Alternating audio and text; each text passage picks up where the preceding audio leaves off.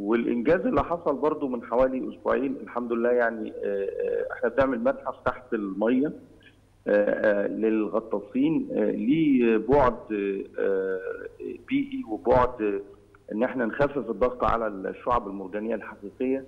يحصل إن الغطاسين اللي بينزلوا بي- بيتفرجوا على حاجات كتير موجودة في معدات حربية قديمة موجودة في قاع البحر دلوقتي تم إغراقها مخصوص لل- للبانوراما عمل آه، جيد جدا إن إحنا آه، نستثمره في قاع بحر زي ال- الغردقة.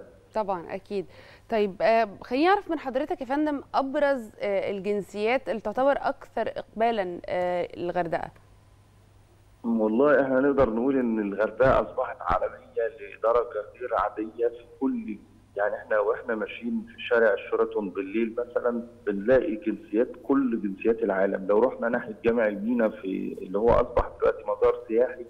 في قلب الغردقة بنشوف كل جنسيات العالم ولكن يعني في الفترة اللي إحنا فيها آه، في جنسيات حصل فيها طفرة في الأعداد بتاعتها. زي إيه؟ الجنسية البولندية مثلا. البولندي آه، رغم إن في آه، حروب في الأماكن دي في شرق أوروبا ولكن في آه، استثمار لواقع آه، يعني إحنا عندنا البحر وال وال والشمس وعندنا كل ال يعني حتى في في في الحرارة دي اللي موجودة في على مستوى العالم أصبح. في آه، تغير مناخي.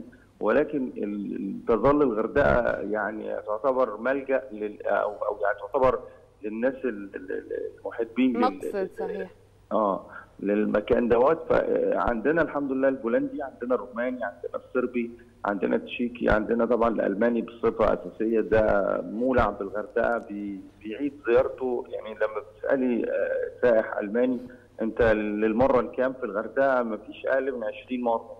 يعني هو بيجي في السنة مرتين وثلاثة الغردقة. ده عظيم لأن جدا. هم بيعشقوا الغردقة جدا. وفي برضه طفرة في السوق الفرنسي الانفتاح كده حصل من حوالي شهرين بالظبط إن الأعداد بدأت تزيد تتضاعف وبالخمس مرات وست مرات عن الطبيعي في الوقت ده.